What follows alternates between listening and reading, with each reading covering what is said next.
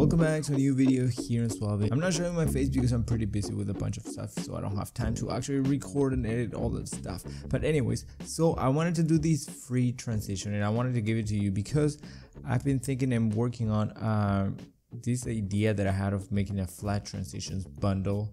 And so yeah, this is just like a test run of one that I built and it's just like these pretty simple and basic you can add stuff to it if you want and these are the things that you can color. I didn't divide it into sections because i haven't had the time to run the codes for that yet but in the bundle they will be all more organized. But this is what it looks like.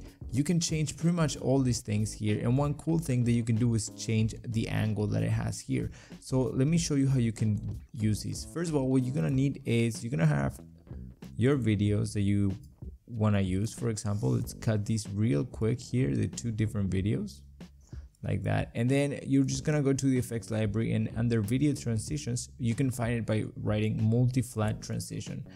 And you just drag it but it doesn't let you add it in the middle. The reason for this is that in order for a transition to work like these these fusion transitions if you have a video you need to have a few frames that you cut from at the beginning of your video so the transition can be put right in between like that. And that's how you would fix that issue. And then here these are different things you can change. If you want to take the motion blur out you can do that so they are a little bit more sharp. You can like alter these. The way that it shows that it has three different shades is actually because I play around with the alpha channel here. So that adds sort of like three different layers that you can play around with and the cool thing is that it's multi and the reason why I call it multi-flat is because of the angles here and you can flip these so it comes from the other side right away or you can play around with the angles and it, I set it up so that it mirrors on the sides so it doesn't leave any like space on your screen uh, without being filled. So you can play around with these angles so then that will change the direction that the transition is coming from you can also change the basic ones. And if you want to adjust the duration of it you can also just make it longer.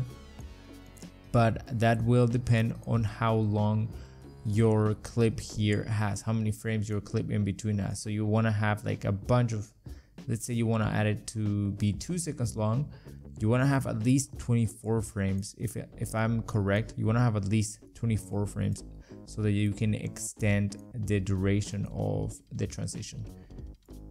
Like that. So you see it it all depends. The length that you can adjust each transition it's up to the amount of frames that you have cut from the first part of the second video that you have. If you cannot afford to cut it right there at the beginning what it's gonna do it's gonna add right there on the side of this transition so that it will take the frames that are extra on this video at the end and sort of like use that as a guide to play for like to show right in between it. You see how it's not on this clip anymore but still showing that remains of that? That is because there's a few extra frames on these so if you don't remember to like leave some space before your video you can do that but that is pretty much how you would go about it. And to download simply go to the link in the description and there you will see the download link. You can also sign up for my email list if you want to receive updates and whatever. I rarely send emails there but when i do is usually for giveaways or like coupon codes or things like that. Um, so yeah that is pretty much it for this video. I hope that you enjoy this transition. You can add and play around with it if you want. Um, you're not gonna be able to open it automatically in Fusion like you are able to do with like adjustment layers and stuff but there is a way to do that. If you want me to do a video on how you can do that so you can play around with it I can do it. It just requires us to go into like the actual macro file and change a few lines of code there but yeah that is pretty much it for this video. If you want to download these it's free. Uh, check the links below. And there on the file there's actually the folder where you have to install this. It's in the fusion templates edit and then you choose the transitions folder so that it will show up here on this screen. So that is pretty much it again. And i hope to see you in the next video here in SUALVI. bye